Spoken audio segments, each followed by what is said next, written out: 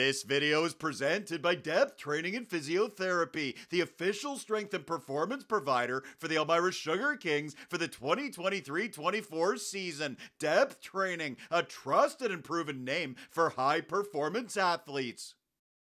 Sunday afternoon GOJHL action from the Snyder. A big one for the Elmira Sugar Kings win, and they get the two seed, lose, and they're the three seed as they host the league's best Listowel Cyclones.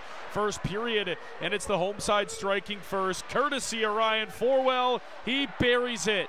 Forwell has Elmira up 1 0 early in the first frame. And Elmira would keep the hot start coming. Joey Martin's going to bury number 25 on the power play.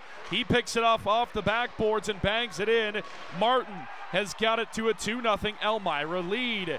But Listowel would not roll over. They would come storming back, and late stages of the first period, in all alone, Harrison Muhlenstein buries it.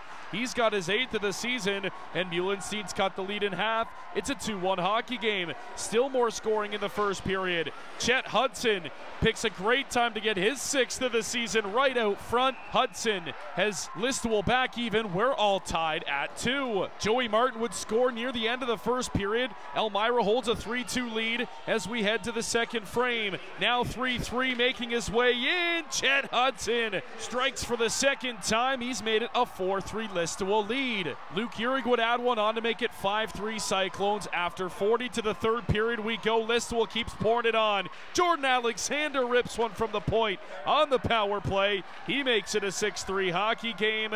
Elmira would add one more late, but it wouldn't be enough as the Listowel Cyclones get the win. Elmira secures the three seed as they'll face Cambridge in the first round. And before the game, Joey Martin being recognized as the fan favorite of the season. What a game it was for Martin, who scored a hat trick in this one.